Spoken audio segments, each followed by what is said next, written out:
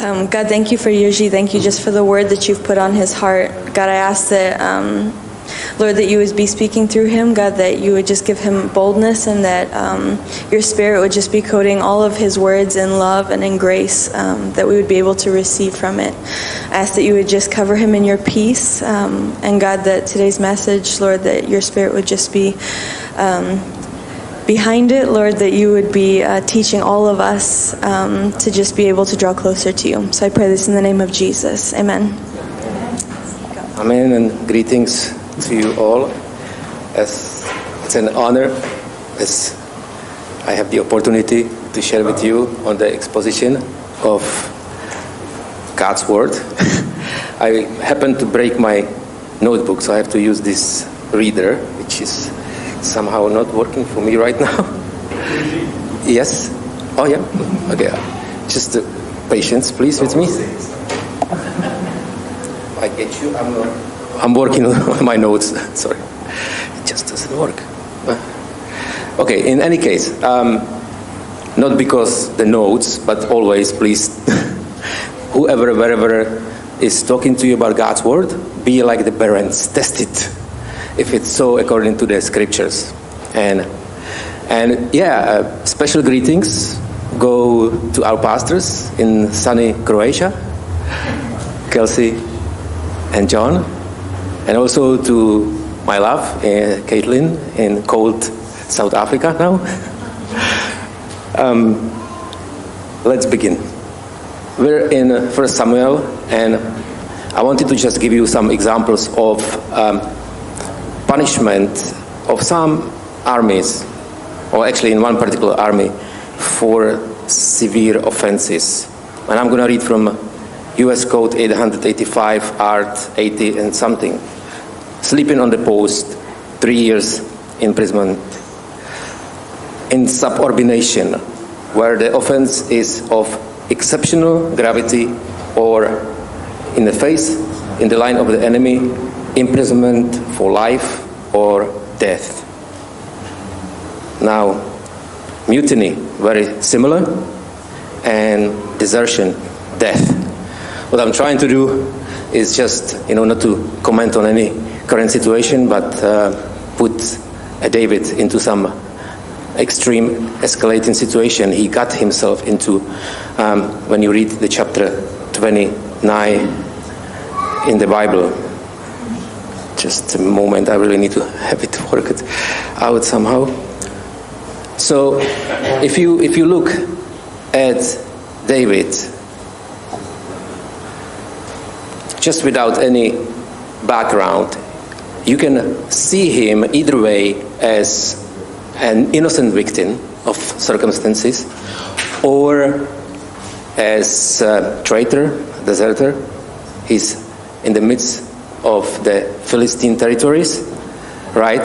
And what I'm trying to do right now is just to uh, get us a little bit into uh, challenge our black and white thinking. And I'm not thinking of uh, Libor and Zainab.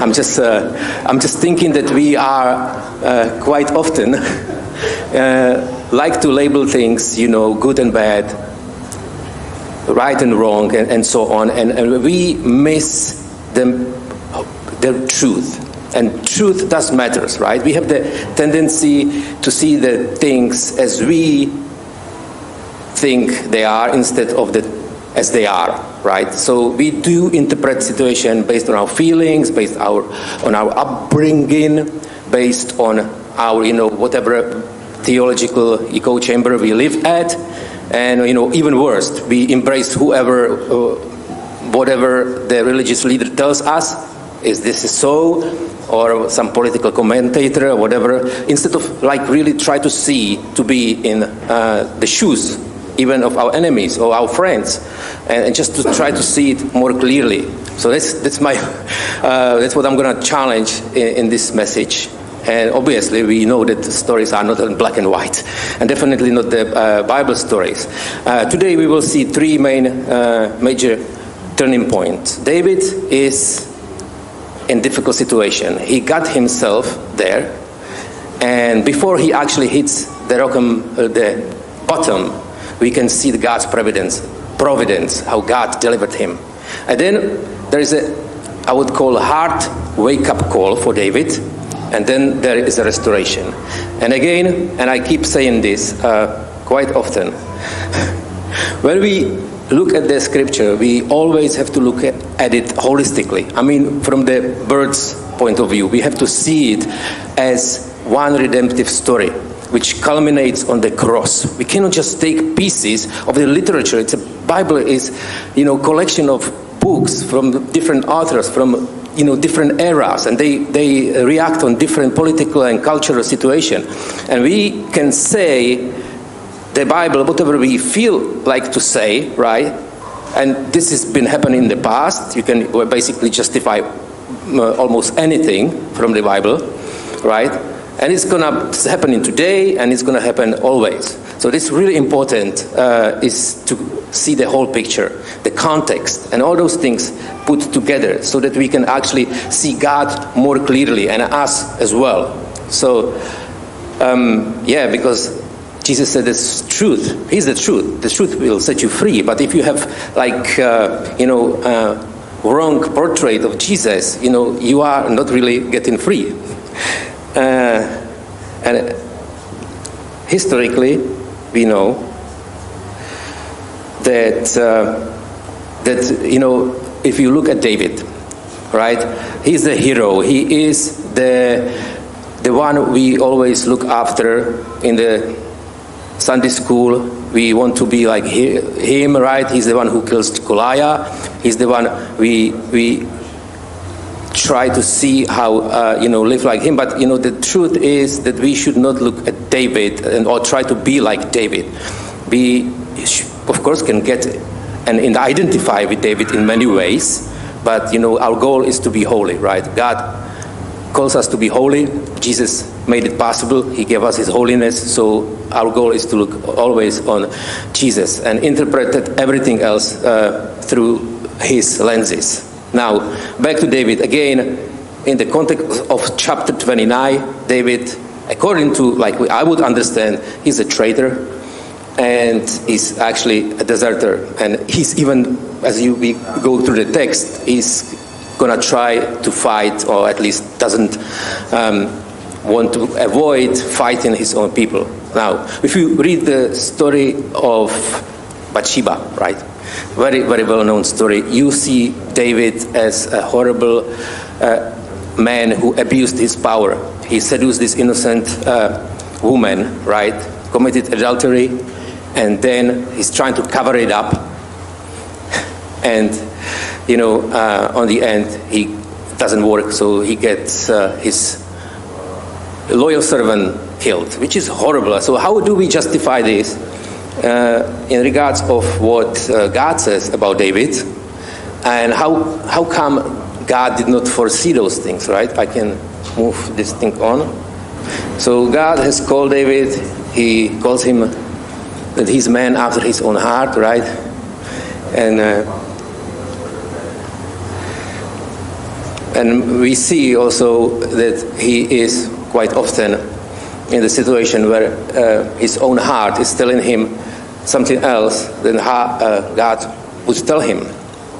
Or what I mean is to be outside of God's will. How did David actually get into the Philistines? Let me just read briefly. Then the David said in his heart, Now I shall perish, one day by the hand of Saul. There is nothing better for me than I should escape to the land of Philistines. Then Saul will despair of seeking me any longer within the borders of Israel, and I shall escape out of his hand. So this was reasoning of David that led him into the enemy's territories. And by the way, if you read the stories for the second time, and I, am I'm just wondering because this is actually telling something about us. I see myself so often actually reasoning like this I shall perish if I don't do this. I shall perish, you know, if, uh, if I, God, I, if, if, if uh, I don't do, uh, if I don't go uh, where I shouldn't go. Uh, because, you know, if you think of it, all the evil can be rationalized, right? You have the ideologies, which, you know, I have to kill in order to progress with my ideology. I have to, I have to, you know, do this um, unethical business conduct, you know, in order for me to uh, rise up in my career. I shall perish, right? I shall perish if, if I don't do so. And this is a great challenge for us to uh, see how God is actually talking to us through the stories of the Bible quite often. It's not in black and white, right? David is definitely not, you know, good or bad. Uh, he is a mixture of those things, but his heart, you know, his heart can deceive him, but ultimately his heart is, and we will see as the story develops, is uh, after God's heart. And, uh, you know, majority of the stories in the Bible actually, you know, not only did they actually uh, carry the redemptive story of, of uh, the revelation which culminates on the cross, the stories in the Bible are conveying, gives us the eternal truth. And those eternal truths, they always uh, re- They always true. Like the story, of course, of the fall, the story of Cain and Abel right? And in the Sunday school, we'll say, I want to be like Abel. I want to f- bring the first fruit, right?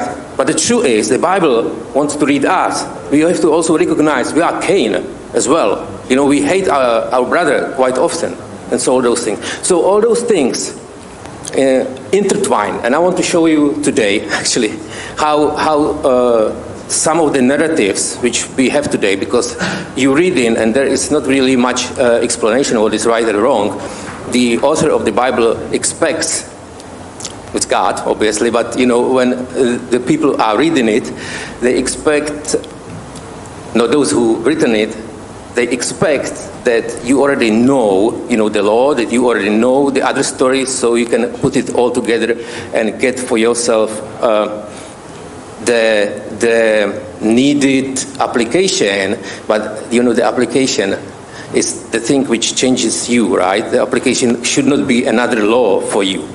So, as, as the stories in the Bible go, they give you a way of seeing the reality of the world so that you understand the divine purpose and it's training you to know the patterns in on your own life. Like so so that you can actually move you know from the vicious circle of repetitive sins for instance and so on. So I have to these things really have time and uh, if you look at David he's running away for his life like he's got legitimate reasons to to hide somewhere but it's interesting that you know he runs after when King Saul actually blesses him. You know, if you go back to the story, David uh, spares Saul's life, and, and, and Saul blesses David. And then the story continues with this. David says in his heart, you know, next time maybe will God not protect me or something like that, right? next time it's going to be something which, uh, uh, which uh, will really kill me. So I need to run to the land of uh, Philistines, which is, you know, again, to, trying to justify uh, wrongdoing, I would say. Because, you know, there's never written anywhere, and I don't want to make any eisegesis, but it's not written there that they, the, God would have told David to run into these uh, enemy's territories. Um, now,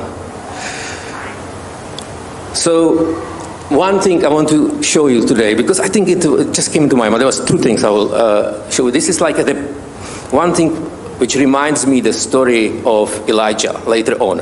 Elijah experiences great God's victory, you know, against those ba- Baal's uh, prophets. You know, the fire devours the wet off- offering, and, uh, you know, the, they are done with, with uh, they are dealt with. And then Jezebel scares David, uh, sorry, David, uh, Elijah, and Elijah runs away. So that is a pattern which you can see in the Bible. I shall perish if I don't do something. Again, I'm going to say it again. I'm at work and I'm doing something, and I may reason myself, oh my goodness, I have no, um, I should not do this, but you know, I need to feed my family. I, I shall perish. So I have to do it. Preachers often, uh, or pastors, you know, I know I should uh, teach the whole counsel of, of God, but you know, I, you know, um, maybe the people will not come back again. So I just need to tell them what they like so that they feel good about themselves.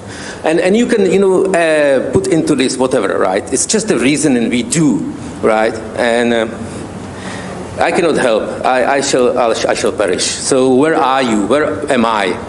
Somewhere in the deep of enemy's territories.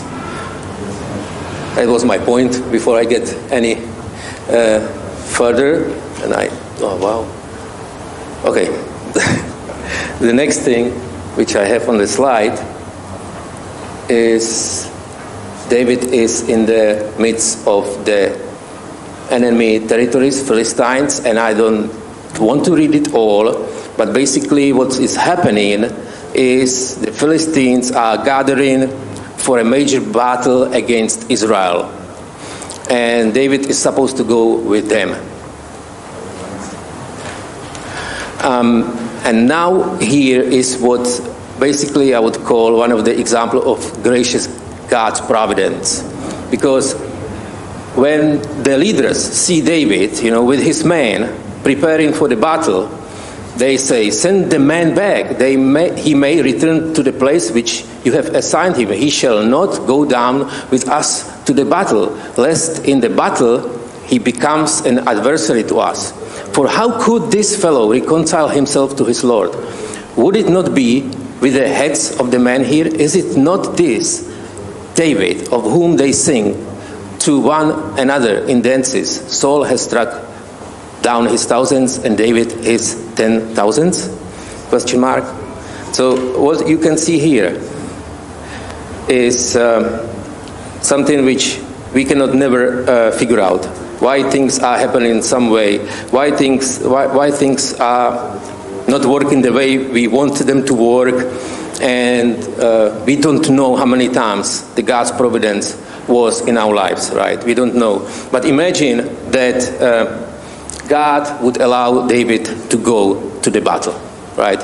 Imagine that this common sense of those Philistines officers would lead him to the battle which is already decided, right? Because if you, if you uh, go back to the chapter 28, which Libor was preaching on, you see that the, the battle is on the, uh, will be won by the Philistines, and tomorrow will be the day Saul will be killed, and on top of that, his uh, best friend Jonathan will die, as you see. So imagine that uh, if God's providence would not allow David, uh, would allow, would not stop uh, what David actually wanted to do, and you know you can hear all kinds of interpretation what David might have would have could have done.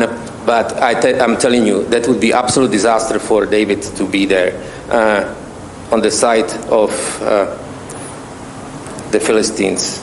So let me move on in. Okay, I was here. Um, this is also important. So after this, I will read this because I really find it amazing. Then Achish called David and said to him, As the Lord lives, you have been honest to me.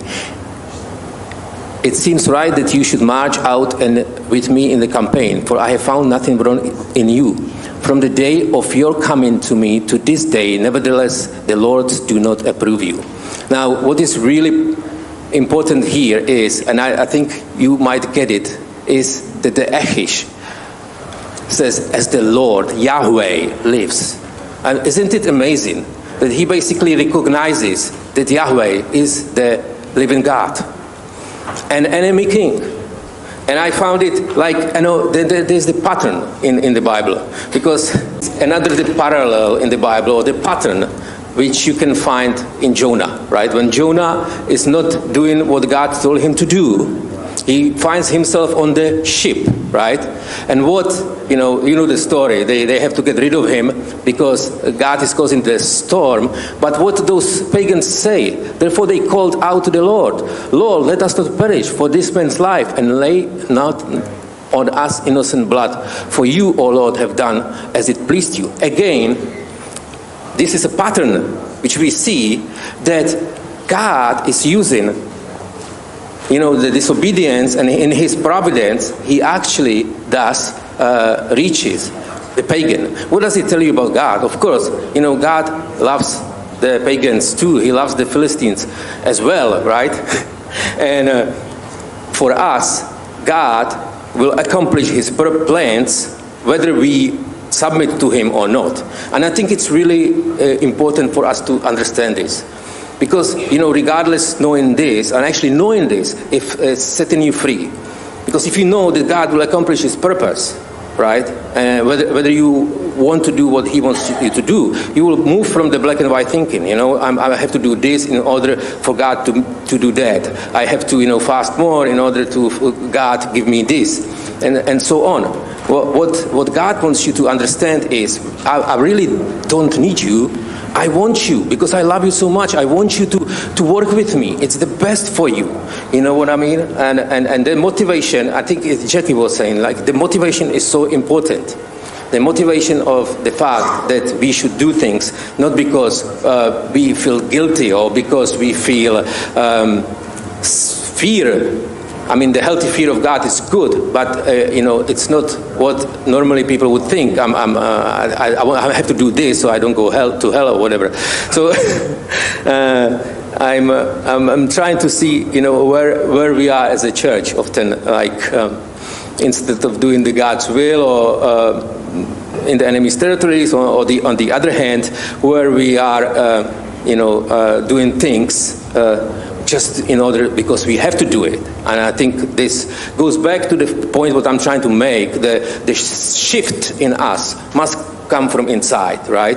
And you know, realize that as you could not save yourself, you cannot also unsave yourself. And you know, the sin is not identify you anymore. It's Jesus who gave you his righteousness. He's the one who gave you his holiness. So the change must come from inside out. And sometimes, sometimes you just, you know, need the wake-up call, um, which we will see later on happened in the case of David. But again, the David story is more profound because we still have the Old Testament kind of Deuteronomy thinking instead of grace thinking. We think when we gonna comply with all the God's uh, law, right? If we do uh, tithe properly, if we do read the Bible whatever it means properly. If we pray enough, if we do, God has to do this, right? But you know, ironically, ironically, I mean, like, where is it in the Bible? Firstly, like this, the nation of Israel had his own purpose, right? It, it, it was something special. They were about to bring the blessings to other nations and they were light of the other nations. And if you read the stories, you know, God used uh, and, and, glorified his name despite of disobedience of uh, Israel. We should not really, we should learn from this and, you know, see ourselves as well and freed ourselves from this kind of, you know, um, black and white thinking and really understand who we are in, in God because then, then, then, then we will really shift from the patterns of our lives. We are set into it and we are always uh, often taught uh, like this. So again, God will not be super impressed by your pious behavior. God really wants your heart, like like David's uh, heart, right? So we we. It's, it's not saying that the law is bad or anything like the law is to crush us understand that you know the only one who can keep the law is jesus and he done it already for us and uh, as i say you know david is the one, and he said, look, look at David. Uh, David is the one who wrote the most of the Psalms. You see his heart, right? He is the one who said, The Lord is the stronghold of my life. The Lord is my salvation. I shall not fear. The Lord is my shepherd, and all those things, and I shall not be afraid. Even though the army encamps against me, I will not fear. Even though war breaks out against me, I shall be confident. And the same David will say, I shall perish, so I will have to run to my enemy's camp, right? So, but the story of David is, is more profound because the story of David is really uh, showing us in many ways how we do act sometimes and oftentimes actually and there is also you know the the lesson that um, that kind, kind of uh, goes against the Deuteronomy thinking because David was doing all the right things, right? And it, it did not go well for him, right? He, he, he was uh, constantly after, um, the Saul was constantly after to kill him when he was really submitting to God. But then, you know, he just uh, could not go over it and uh, end up in the Philistine territory, which was not uh, obviously the will of God. But then comes the wake up call. Then comes something which uh, in all us, um, all of us often we need, right? So David doesn't go to the battle, thank God's providence, and he returns to his town where all his uh, wives and, and other people wives lived and uh, let me read it now when david and his men came to ziklag on the third day amalekites had made a raid against negev and against ziklag they had overcome ziklag and burned it with fire and taken captive the women and all who were in it bold and small and great they killed no one but carried them away off and went their way well a little bit of the background uh, who Amalekites are and the difference between Philistines. So Amalekites were just like, you know, smaller tribes. Uh, they call them like hordes, usually like preying on, on uh, like abandoned cities and so on. I'm generalizing, I'm painting like black and white a little bit. But Philistines were uh, a nation, like really structured with a monarchy, and they, you can you can see them also like Israelites in a sense. Israelites they came uh, from the from the desert and uh, to the promised land. And Philistines, they were trying to, they came from the sea, they called them sea people. They were trying to uh, invade Egypt, they did not succeed, so they went down to the promised land and they were trying to find their living there. So just to let you know uh, that, that how it was. But for David, I think this was something which changed the direction of his, because when we, when we go and read further, what happens and David was obviously greatly distressed, for the people spoke of stoning him, because all the people were bitter in soul, each for his sons and daughters. But David strengthened himself in the Lord, his God. And now, what I was just ramping, rattling about before is here, because David did, David did what is really what we should always do. We should look upon the Lord. We should not look at ourselves. We should look upon God. He is the salvation. And he, David finally realizes who he is. Um, because he remembers that the Lord, you know, delivered him from Saul. The Lord put Goliath into his, uh, into his hands and all, all those things. So the Lord, it, it, this is the application for us. Always look at uh, the Lord, wherever you are. Don't try to start with uh, some self salvation efforts. Uh, look at the Lord and let's continue right now because I want to get. What continues is also for us. And David inquired of the Lord. Shall I pursue after this band or shall I overtake them? And he answered him, Pursue, for you surely shall overtake them and shall surely rescue all those. Again, there is one thing which I want to tell you. he did strengthen himself to the Lord. He found back, you know, his identity. And then he walks with God again. He's talking to him. He's asking what to do. Shall I do it or not? And uh, there is a next step for us in this what uh, is David did what he was told to do. I mean, it's natural that he will go and uh, try to um, save uh, his own people. But, you know, in a sense, it's the obedience that God told him, yes, you will do it, and that's what happened. So David recovered all what the Amalekites had taken, and David rescued his two, two wives. Nothing was missing, whether small or great, sons and daughters, Paul, anything that had been taken. David brought, brought back all, everything. And this is where basically it's like, like a shift in the David's life, if you think of it. Now the David is becoming the shadow of Jesus because there are many things which are uh, like sh- showing what sh- Jesus done for us. He's the one who saves us, right? We, we cannot save ourselves. He is the one who um, recovers what was lost due to our disobedience or because we need a savior. And in a, in a sense, you know, once David is back in his sen- senses, he keeps going and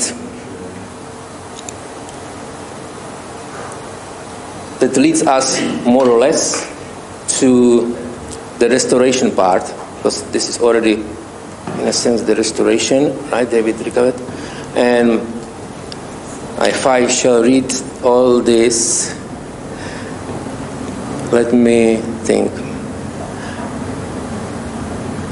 This just to illustrate the david's role as uh, the type of Messiah. So then David came to the 200 men who had been too exhausted to follow David and who had been left at the brook Besor. And they went out to meet David and to meet the people who were with him. And when David came near to the people, he greeted them. Then all the wicked and worthless fellows among them who had gone with David said, Because they did not go with us, we will not give them any of the spoil that we have recovered, except that each man may, let, may lead away his wife and children and depart. But David said, You shall not do so, my brothers, with what the Lord has given to us. He preserved us and given into our hands the band that came against us. Who would listen to you in this matter? For as his share is as, as, his share is, who goes down into the battle, so shall his share be, who stays by the baggage. They shall, they shall share alike. And he made it a statute and rule of, for Israel from the day forward to this day. So here is again David, who, who is the shadow of Messiah. He is like like in many way wicked and worthless way this is the narrator saying but you know when jesus approaches some uh, situation he will call you brood of vipers right? He's given to them who don't uh, deserve in the eyes of some you know the spoil and everything.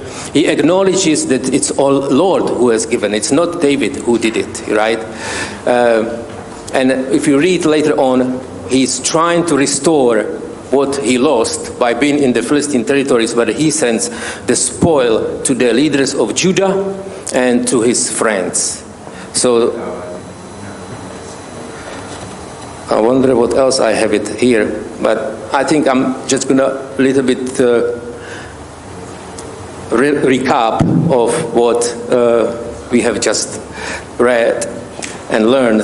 So basically, you know, again, the, the, here is the example of how we should turn from the situations we are at, right? We should not beat ourselves.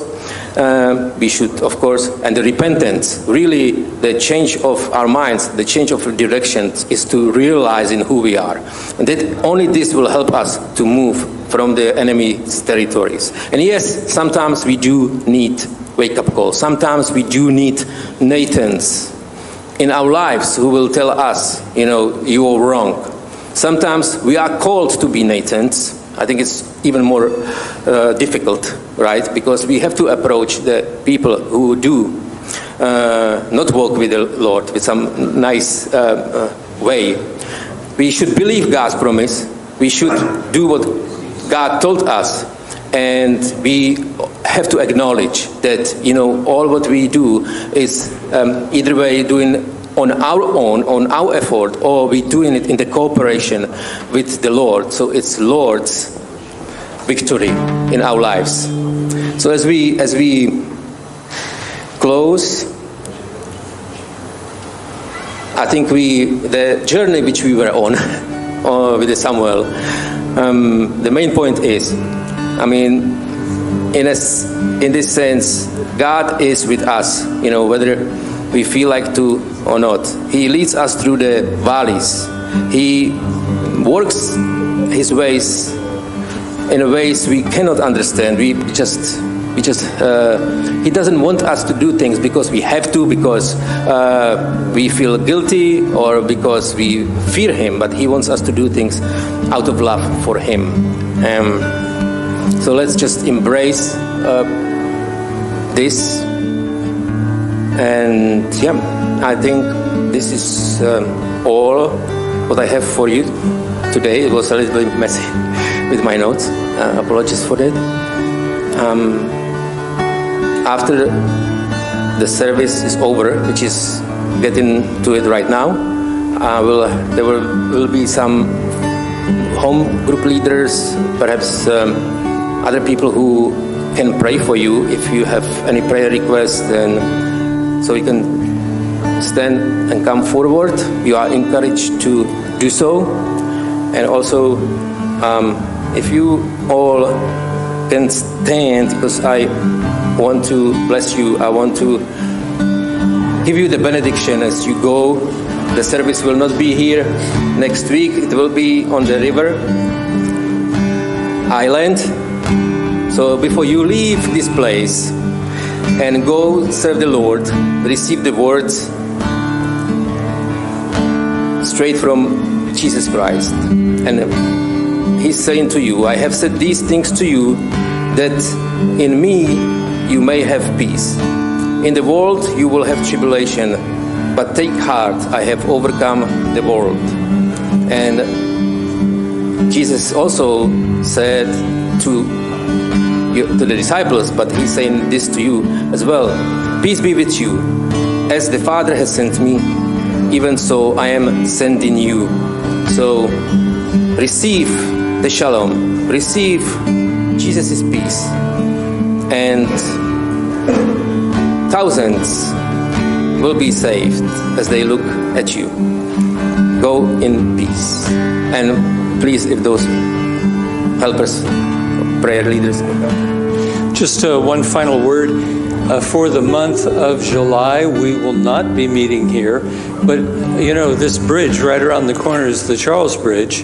And if you go down to the next bridge, you'll see that there's an island underneath it. And it's uh, called Streletsky Ostrov. The service will be at the same time, starting at 11. You can come early, of course. It's suggested if you have a, a picnic blanket, if you have some uh, some uh, snacks or even lunch, if you want to stay on, something to drink. Could be a hot day or a hot four Sundays, but uh, that's where we're going to be, and we will not be in this location. So make sure you head straight for the island, Streletsky Ostrov. So God bless you.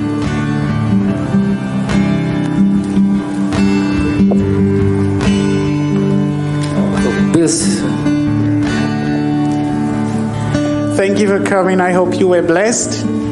As you go, I pray may the Lord go with you. May His presence go with you. And may His grace go with you.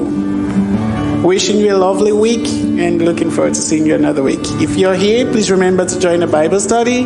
If you're going back home, also remember to join a Bible study wherever you go. Be blessed. Bye.